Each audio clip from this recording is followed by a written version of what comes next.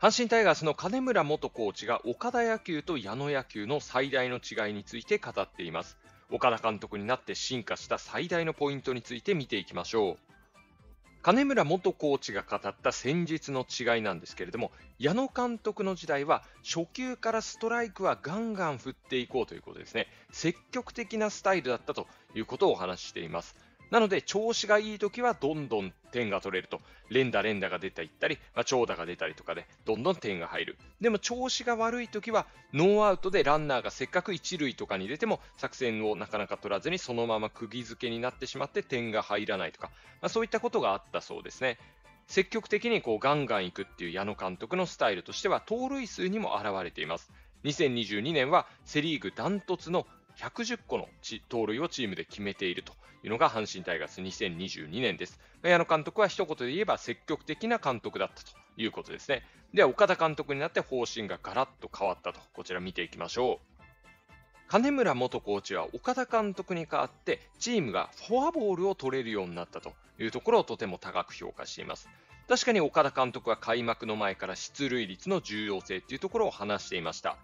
ノースリーから大山選手がちょっと微妙なボールを手を出してしまったというところで、打てのサインだからといって全部手を出すんじゃないと、そんな話もありました。あとは首位打者よりも最高出塁率の方が価値があると、ヒットをがむしゃらに打ちに行くよりも、塁に出るとか、そういったところを意識した方がいいと。あとベンチとしてもランナーが出なかったら何も動くことができないと。だからまあランナーを貯めていくことが大事だと。